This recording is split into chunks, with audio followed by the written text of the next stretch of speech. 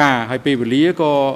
នៅសល់តិចតួចដែរទេនៅក្នុងដំណើរការសមនការព្រឹកនេះហើយបើធៀបជាមួយនឹងពេលវេលាដែលអង្គព្រះត្រូវការយកទៅពិនិត្យពិចារណាសម្រាប់ចេញដីសម្រាប់ផ្ទាល់មាត់នាពេលខាងមុខនេះដើម្បីឲ្យដំណើរការស្ដាប់សក្ខីកម្មស័ក្តិសិទ្ធិ ដែលមានរហស្សនាម2 TCW 996បានប្រព្រឹត្តទៅនោះអង្គជំរះសម្រេចថាសមនាការនៅព្រឹកនេះគឺផ្អាកត្រឹមនេះសិនហើយសមនាការលើកទៅបន្តធ្វើនៅរសៀលនេះដែលចាប់ផ្ដើមពីម៉ោង1:30នាទីទៅហើយពេលនោះអង្គជំរះនឹងសម្រេចអំពីវិធីសាស្ត្រក្នុងការ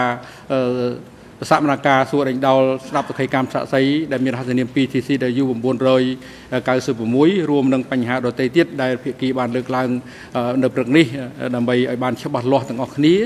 ហើយយើងនឹងអាចដំណើរការទៅដោយរលូនហើយប្រកបឲ្យ រយៈទីគុំខាំងនាំខ្លួនលោកគឺសំផនទៅកាន់បន្ទប់រងចាំខាងក្រោមសកម្មភាពនេះនឹងប្រកបឲ្យនាំខ្លួនគាត់ត្រឡប់ចូលរួមសកម្មភា